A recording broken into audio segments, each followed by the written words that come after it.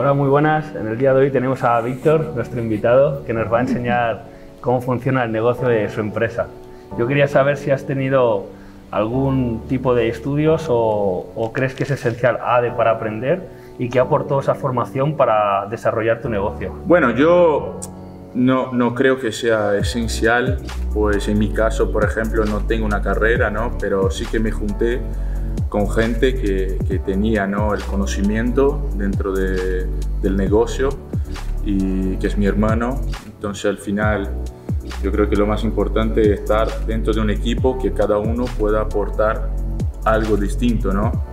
En mi caso no fue esencial, pero sí que me junté con gente que tenía el conocimiento.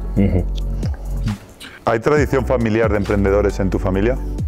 Yo creo que sí, yo creo que, o sea, tengo, nosotros somos una familia grande, tengo muchos primos que, que son gente con muchas ideas e intentan hacer cosas nuevas y, y buscar eh, emprender de maneras distintas. Entonces, por supuesto que, eso me ha dado más confianza de, entrar en, un, eh, en algo que no tenía tanto, eh, tanta experiencia ¿no? para hacer. Y yo creo que ha sido para mí muy bueno. ¿Por qué te decantaste por ese producto y por otro no? Bueno, al final yo creo que para emprender eh, lo principal también es tener eh, una pasión ¿no? por, lo que, por lo que buscas o por el producto que vas a, hacer. ¿no? Entonces, la, la, industria de la moda fue una de las cosas que siempre me ha dado pues, mucha ilusión y a mi hermano también. Entonces, nosotros queríamos emprender dentro de algo que, que teníamos también un poco de, un poco no, pero mucho cariño y ilusión de hacer algo grande. Y, yo creo que es importante, ¿no? Porque si no, no disfrutas el día a día, porque es mucho trabajo, son muchas cosas y, y tiene que tener el amor ese por lo que hace. ¿Qué metas has cumplido y cuáles no? ¿Cómo ves tu negocio dentro de cinco años? Bueno, yo creo que al principio siempre tienes una ambición y hay muchas cosas que no salen de la manera que, gustaría, ¿no?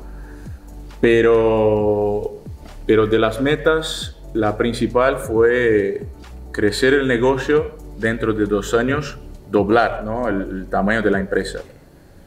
Y eso lo pudimos hacer, y, pero, pero dentro de tres años nosotros queríamos llegar a tener por lo menos el el break-even ¿no? de la empresa dentro de los gastos, tener por lo menos el, el lucro, no sé si... Sí, el beneficio. Para, para, tener una empresa ya, o sea, con más tranquilidad de manejar eh, la caja, ¿no? Pero, pero sí que estamos creciendo y, y, es lo más importante, ¿no? Dentro del plan, el crecimiento es más o menos lo que queríamos nosotros.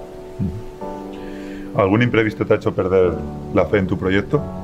¿Y qué aprendiste sobre este imprevisto? No, la fe no, la fe no. Yo creo que, que para hacer un negocio que sea eh, bueno, importante y grande necesitas tiempo. ¿no? La empresa ahora tiene cuatro años y como os dije, tuvimos momentos duros ¿no? que pensábamos que íbamos a estar un poco mejor. Eh, las vendas o el producto, ¿no? muchas veces hace una colección y un producto que sería muy importante para la colección no sale como a, como a nosotros nos gustaría. Entonces ya tienes que cambiar un poco la mentalidad de la colección, cómo va a ser. Y eso, claro, es, en algún momento te dejas un poco triste tal, pero, pero eso es emprender, ¿no? es buscar las alternativas y cómo cambiar la cosa para que, para que salga bien.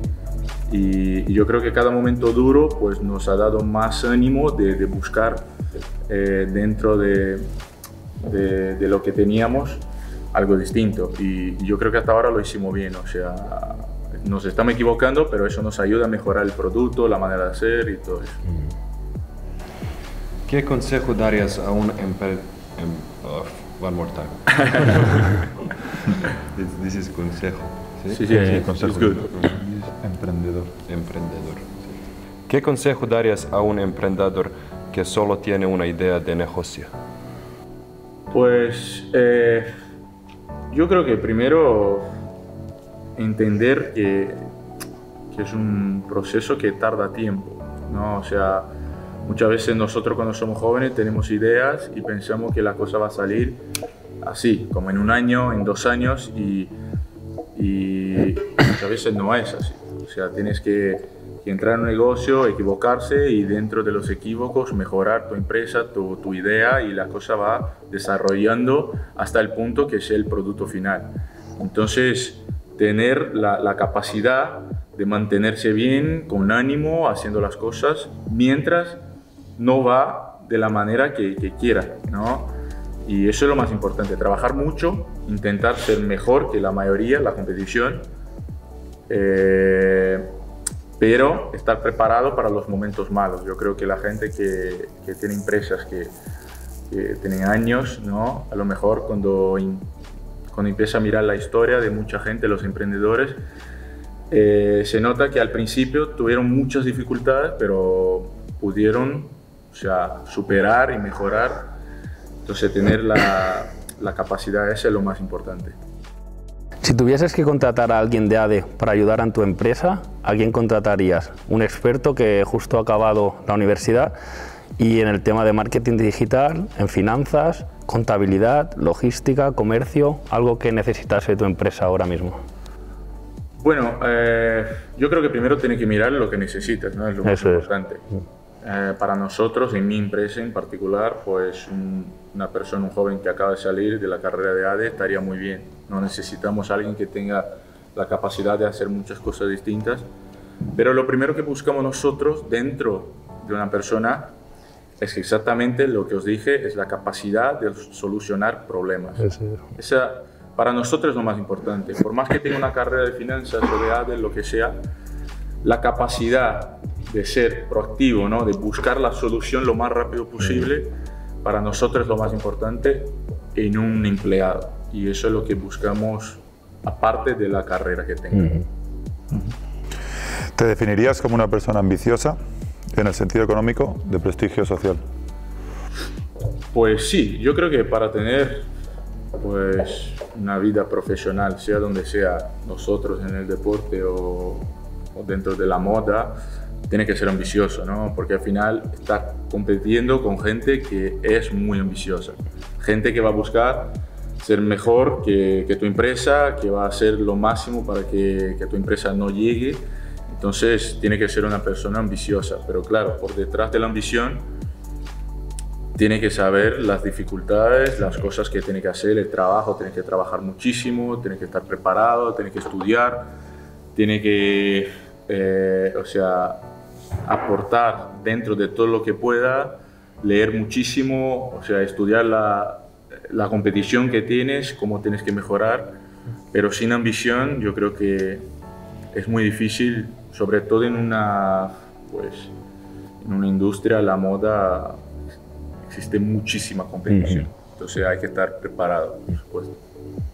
Si mañana, por ejemplo, un socio te propone extender tu negocio hacia el extranjero y supone un elevado riesgo, pero a su vez prometería muchos beneficios, ¿qué opción tratarías? ¿Serías conservador o arriesgarías? Bueno, yo soy más de arriesgar, ¿no? Yo creo que para lograr los objetivos ambiciosos que tenemos nosotros, tenemos que, que arriesgar. Pero al final también tienes que saber el momento de tu empresa. Uh -huh. si, si puedes hacerlo, siempre tienes que estar preparado para lo peor que puede pasar, pero creer en lo mejor, ¿no? Entonces, si tienes la oportunidad de arriesgar y estás preparado para, para que la cosa no salga bien, uh -huh. Lo puedes hacer. Que ese riesgo no suponga destruir tu empresa Exacto, o algo así, que suponga o sea, parte... O sea, tienes que entender todo uh -huh. el ambiente que entras tu empresa en el extranjero, si está preparado, las cosas que, que pueden pasar pero yo soy de los que si no arriesgas tampoco vas a tener, eh, vas a llegar a tu, hasta los retos que tiene como, como tu empresa. ¿no? ¿Repetirías la experiencia? Sí, yo creo que sí. Yo creo que a mí me aportó muchas cosas. Aparte, salir de, de mi vida profesional, que es el deporte, y buscar algo más, me ha dado, o sea, muchas cosas distintas, sobre todo en la experiencia de, de vida, ¿no? De, de personal, en, conocer gente que, que, habla de cosas distintas, que tiene conocimientos distintos y eso me, me, ha aportado muchísimo, hasta en mi vida dentro del deporte, entonces yo lo haría, seguro.